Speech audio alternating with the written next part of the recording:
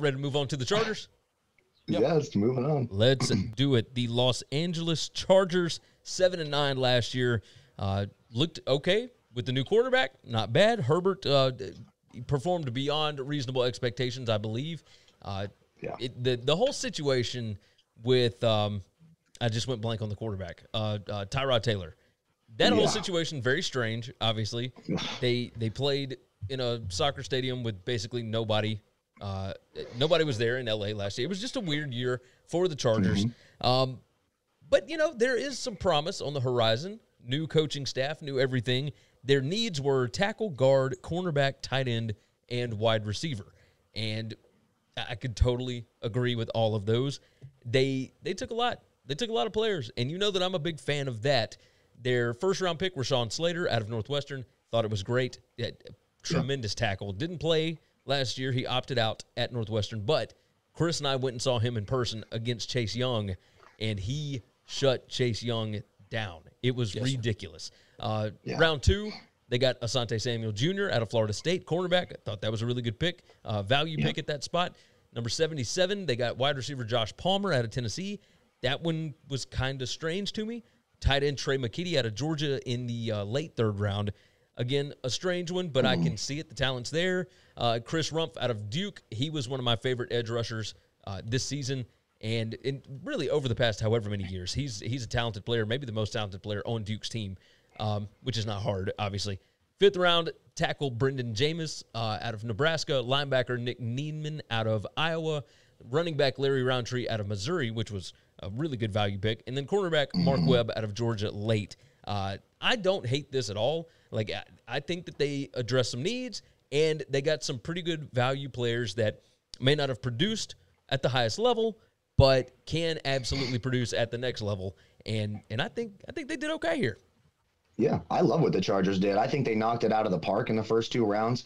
I like I had Slater just a little bit higher than Penei Sewell. I think he's an absolute beast, and I love what they did there. And let's not forget, this team got better before the draft. They didn't have to do a damn thing other than get rid of Anthony Lynn, who's in that Freddie Kitchens class of head coach. I mean, we're talking about look, a great leader of men. You could tell that people want to play for him, but the guy had absolutely no idea what he was doing on the sideline.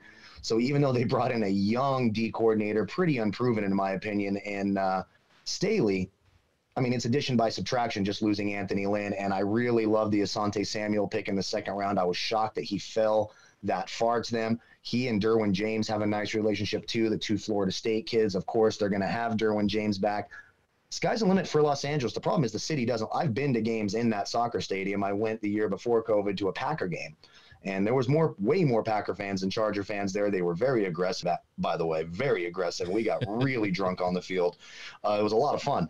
But I, I, think the Chargers knocked it out of the park here. I don't know much, much about Josh Palmer. I know McKitty's more of a blocking tight end, not necessarily a receiving tight end, and they did lose Hunter Henry.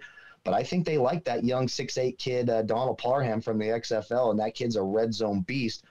Herbert's going to be better this year. Slater's going to really protect that blind side. I thought the Chargers, Chargers did a great job, and I love that pass rush you touched on, uh, Chris Rumph in the fourth round. I thought that was a fantastic pick.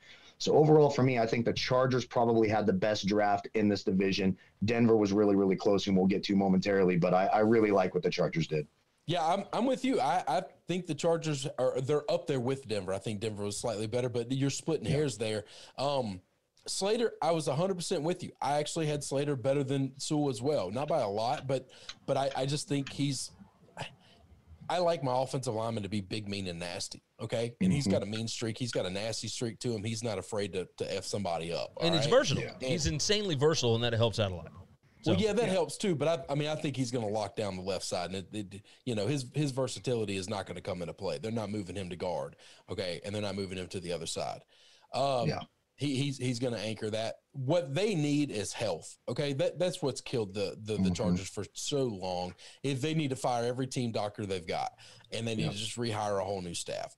Except for the guy that injected Tyrod Taylor so we could get Herbert on the No, field, no, right? you that was pay the that best guy thing that ever salary. happened to them. It is the best thing that ever happened to him. You pay that guy his severance, and then you let him walk because Yeah. that team can't stay healthy. You brought up Derwin James to work with Asante Samuel. Listen, Mhm. Derwin is one of the greatest what ifs in all of football. you right got now. that right. because Yeah. I think he is an absolute monster when he plays. But the problem is, is that man doesn't play football for a living.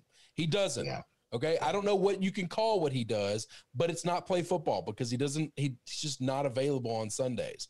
Um, Yeah. I think the Asante Samuel pick was unbelievable. I thought this guy was a first round dude. They got him middle uh uh, to you know I guess right down in the middle. It was like second 40 round. 47. And, and and I just can't believe that he fell that far. They needed cornerback help. I think he's gonna. They got two of the best players.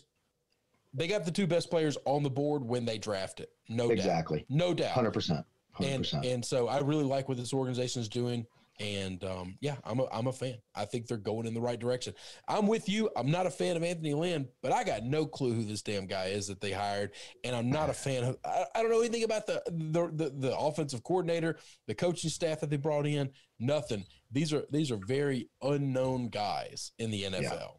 Yes, Yeah. no, you're you're 100 percent right Brandon that. Staley. I mean, so so it's easy to be a good defensive coordinator when you're the defensive coordinator with Jalen Ramsey, Aaron Donald, etc. Michael Brockers, that entire defense. We'll see what he does, but these young coaches have impressed, and I'm telling you, the shit my dog took this morning would be better at managing an NFL game than Anthony Lynn. There's no doubt in my mind about that. So they can't. There's no way he's any worse than Anthony Lynn was last year. It has to be an upgrade. It Has to be. I tend to agree with you. So we'll see what Anthony Lynn does. Where and he's uh, the offensive coordinator where right now? Uh, he went. Uh, God, why can't I remember? Uh, Was he It Might be Detroit? Detroit. It wouldn't shock me if it's Detroit. They always hire dumb people in Detroit, so that wouldn't shock me either.